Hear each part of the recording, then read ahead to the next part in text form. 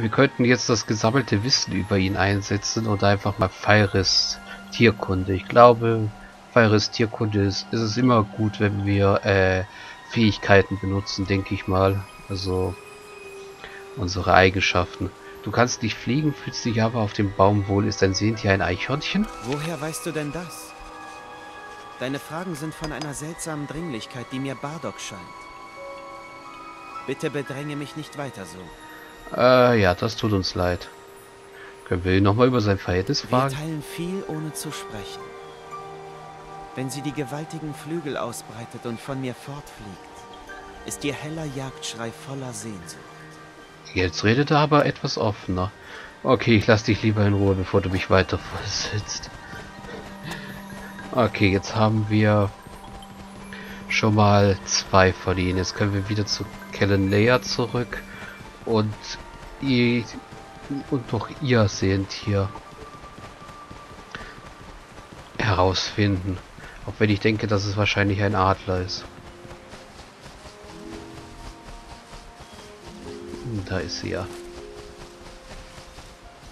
Sanyaba, Fremder. Ja, ich möchte das Gespräch weiter fortsetzen, was wir hatten. Ich habe den Eindruck, dass die Beute, die du jagst, eine Information ist. Hm? Nö, eigentlich keine Information. Wir wissen es eigentlich. Ich vermute, oder besser gesagt, wir vermuten, dass es ein Adler ist, richtig? Ah, darum geht es. Nun, da du deine Beute in die Krallen bekommen hast, werde ich sie dir nicht nehmen. Deine Vermutung stimmt. Der A ist es. Hm. Der A, also A, bei den Elfen heißt der Adler A. Äh, danke für das Gespräch und gute Jagd. So, dann haben wir ja alle drei Seentiere. Also zurück zu Eulen, zu Lindenben Eulenflug.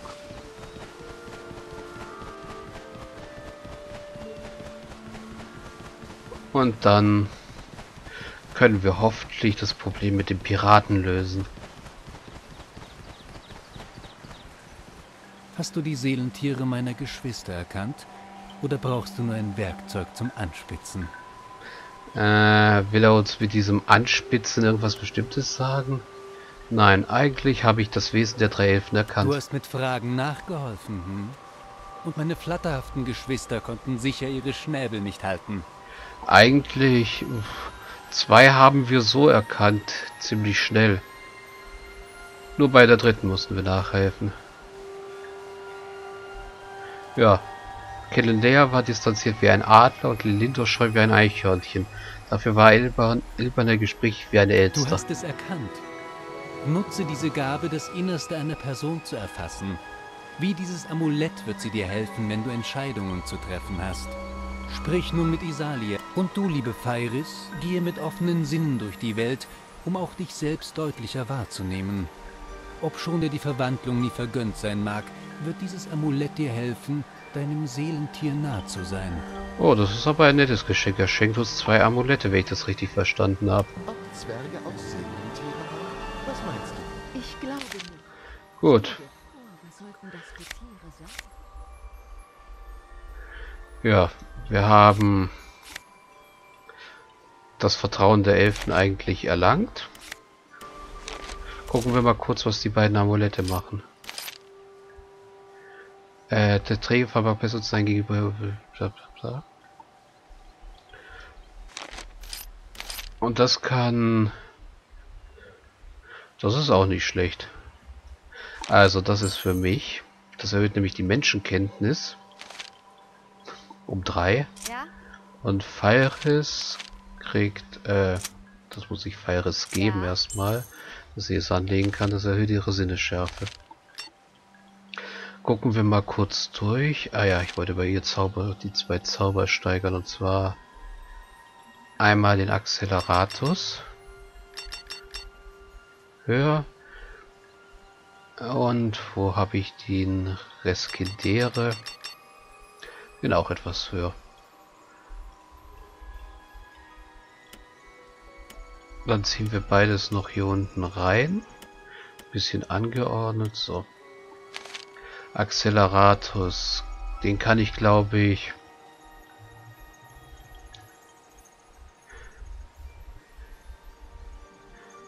Ja.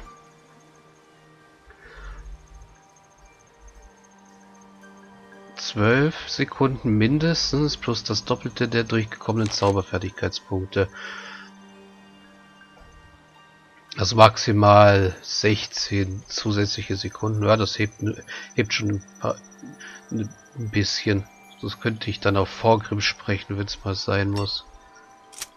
So, kann ich noch was Besonderes, was ich machen könnte? Ja, ich könnte die beiden Sachen mal hochstellen auf Maximum. Die Zwergnase, wie hoch ist ein Vorgrimmseite Zwergnase eigentlich? Äh, Vorgrimmseite ist höher als meine, also steigere ich die mal etwas. So. Ich wollte ja eigentlich 320 Punkte für Gewandtheit sparen. Na gut. Maulwürfe vielleicht. Die sind auch blind und wühlen in der Erde. Sie kümmern sich gar nicht so viel um Tiere, sondern nur um Steine. Dann haben sie vielleicht Seelensteine. Edelsteine, wie die Drachen ihre Karfunkel. Zwerge und Drachen haben bestimmt mehr gemein, als ihnen lieb ist. Beide horchen gern. Aber Vorgrimm scheint mir eher ein Flusskiesel zu sein. Er fährt nicht so gern auf den Fluss wie der andere Zwerg. Ich halte ihn für ein Granitgestein. Die philosophieren gerade darüber, was für Gesteinssorten wir sind. Also Vorgrim und ich. Das ist genial. Das ist echt genial. Aber gut, erst jetzt reden wir mal wieder mit Isaliel. Linwen sagt mir, dass du einen Einblick in das Wesen der Fey hier erlangen konntest. Vertrete nun die Belange der Sturmwächtersippe mit derselben Empathie, die du hier bewiesen hast. Ja, das werden wir machen. Und zur Not können wir die Piraten immer noch hauen. Verhauen. Dann suche ich nur den Captain auf. Oh, Stufenaufstieg für Koano. Ja. Das machen wir vorher mal kurz. Oh, der hat jetzt aber gut was an Punkten. Fallen naja, fallenden Schärfen macht Feiris eigentlich, deswegen geht das Schlösserknacken bei ihm höher. Oh, falsch, können wir bei ihm definitiv mal erhöhen. Das können wir nachher brauchen, wenn wir zurück nach Nadoret gehen. Sie betören. Boah, seine Lebenspunkte erhöhen kostet einen Haufen. Aber gut, das dürfte äh, Selbstbeherrschung noch eins höher. Ist die Selbstbeherrschung bei allen erstmal hoch genug, außer bei mir? So. Gut. Dann geht es jetzt erst einmal nach dem Schnellspeichern zurück zu den Piraten.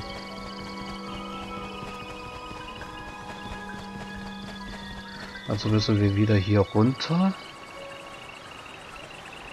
Na gut, so offen ist das Gebiet hier nun auch wieder nicht, aber trotzdem, bis die Piraten mal hier ankommen, haben die Elfen hineingeheizt, es sei denn, sie brennen halt den äh, Wald ab.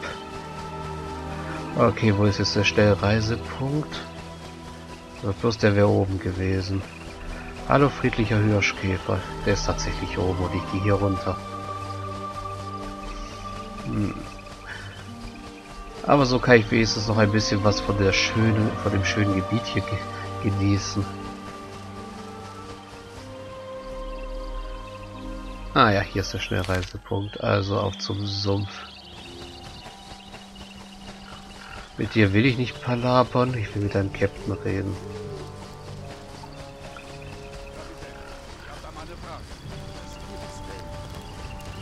Dürfen wir den Besuch nicht ausnehmen. Auf dem Fluss machen wir auch nichts anderes mit Fremden. Weil wir Besuch sind. Ich grüße euch. Was könnt ihr mir berichten? Okay, die Elfensippe ist bereit, mit euch in Verhandlungen zu treten. Was sind eure Forderungen? Hm. Forderungen? Das klingt, als entspringe dieser absurde Ausflug meiner Denke. Okay. Er hat jetzt gerade rausgelassen, dass er Magier schickt. Ich tippe, tippe mal wieder auf Kaltenstein. Also war das schon ein guter Schachzug zu verhandeln, denn er scheint uns sehr gesprächig zu sein. Ich hatte also recht. Wo ist der Kerl? Den mache ich fertig. Vorgrim, ganz ruhig. Wir reden gerade in Verhandlungen. Wie spannend. Erzähl doch mehr, werter Herr Kapitän. Ja, so würde uns vielleicht auch nicht mehr erzählen, Kuano. Ist der Magier etwa hier? Noch einmal wird er nicht entkommen. Die ganze Gruppe ist jetzt in Aufruhr, macht den Captain wahrscheinlich nervös. Bedauere, ihr müsst euch verhört haben. Verfluchte Habgier, sagte Gut gemacht, Leute. Jetzt stehen wir wieder am Anfang da. Oh, Habgier natürlich. Und was wollt ihr haben? Elfenbausch. Was? Elfenbausch? Was soll das sein? Ein ganz besonderer Stoff, den nur die Elfen herstellen können. Im Sommer kühlt er, im Winter wärmt er. Efforts Tränen widersteht er. Und man sagt, sogar dem Fluss der Zeit. Also ich glaube, dass es gerade darauf ankommt, auf den Fluss der Zeit. Weil es heißt ja am Fluss der Zeit das Spiel. Ich denke also mal, dass äh, Kaltenstein irgendwas im Fluss erreichen will. Deswegen braucht er den Stoff. Ist jetzt mal so meine erste Vermutung. Nein, ich kenne das Spiel nicht. Ich spiel's blind. Ich spiel's wirklich blind. Ah, ja. Jetzt könnten wir einfach mal nachgeben, aber wir sind mal so und tappen ihm auf die Füße. Wegen ein wenig Stoff hättet ihr fast einen Krieg angezettelt. Wir brauchen davon einen ganzen Ballen. Oh, das ist ja so viel. Okay, wir werden dieser Sippe diesen Wunsch vermitteln. Was gibt, bietet ihr im Gegenzug an? Wir haben mitnichten die Absicht, den Bausch zum Marktpreis zu erwerben. Ja, das habe ich mir schon gedacht, dass ihr nicht handeln wollt. Ah, ja, für eure Dukaten werden die Elfen hier sowieso kaum Verwendung haben. Eures Erachtens nach. Was verlangen die Elfen? Hört auf, für Holz zu fällen und mit euren Säbeln zu rasseln. Verschwindet einfach. Ja, ganz diskret. Verstehe ich euch richtig? Ihr nehmt an, die Elfen würden uns schlicht den Bausch überlassen, wenn wir fortgehen. Ja, denke ich mal. Wir könnten die uns jetzt, äh Okay, wir könnten jetzt uns etwas aus dem Fenster lehnen und äh, Elfenphilosophie anwenden, also Harmonie, dass den Elfen die Harmonie wichtiger ist als Geld. Wir könnten uns erst eine Bestätigung von Isaliel holen oder wir könnten auf erstmal auf uns, uns auf unser Wohl beziehen.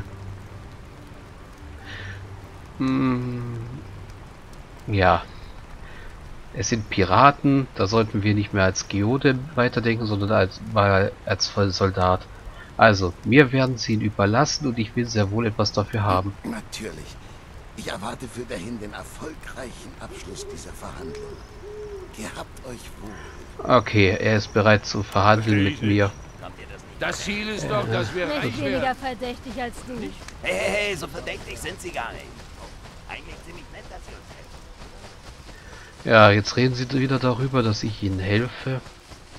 Ich helfe ihnen aber eigentlich nur aus zwei Gründen. Erstens, weil ich mehr Informationen von ihnen brauche über Kaltenstein und Mo ähm, Mora. Und außerdem, weil ich unnötiges Blutvergießen hier im Wald verhindern will. Also, Sanyasala. Du sprachst mit den gierigen Menschen? ja. Sie wollten, wollen Elfenbausch von euch.